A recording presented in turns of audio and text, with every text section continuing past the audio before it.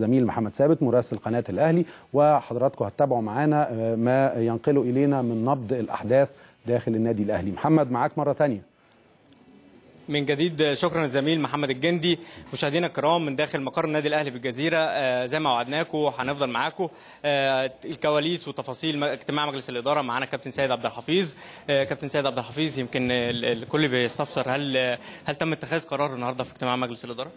يعني هو كان اجتماع لجنة الكره ولجنه الكره منعقدة من من الصبح يعني اجتماع كان بدري شوية النهارده وبعدين لسه اجتماع خالص حاليا.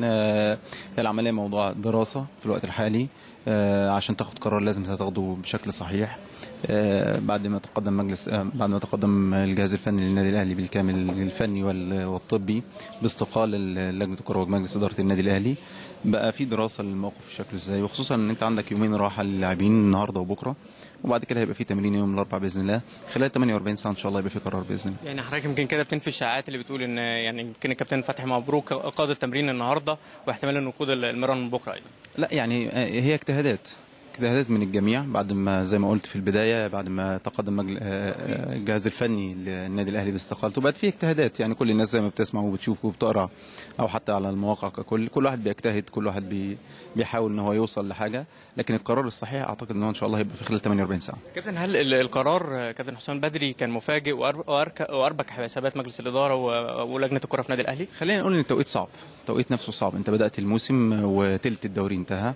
لكن عشان تاخد قرار لازم تاخده بشكل صحيح لازم تدرسه بشكل كبير جدا عشان يطلع قرار. انت بتتكلم في النادي الأهلي وجهاز النادي الأهلي جهاز فني النادي الأهلي.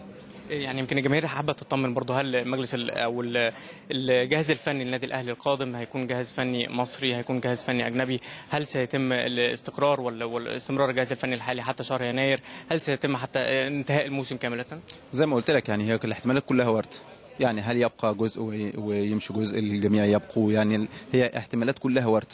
هل يعني في تغيير في اتجاه للتغيير ولا لا؟ كل ده في دراسة خلال ال 48 ساعة هيبقى في قرار بإذن الله. يعني يمكن كابتن هل خلى مجلس الإدارة أو لجنة الكره تقبل قرار الاستقالة؟ الناس بتتساءل هو سوء نتائج النادي الأهلي في الفترة الأخيرة؟ يعني عشان تبقى في حاجة أو في ناس بتقدم باستقالتها يعني أكيد إن في حاجة مش مش مش سليمة. لكن في النهاية هو جهاز اشتغل وجهاز بطل. جهاز انتهى يعني هو حامل اللقب حامل بطولة الدوري. زي ما قلت لك خلال 48 ساعة بإذن الله بإذن الله هيبقى في قرار بإذن الله. لكن حضرتك ما بتنفيش إن هو احتمال الاستعانة على الأقل أو أو من الممكن احتمال إن الاستعانة بجزء من الجهاز الفني.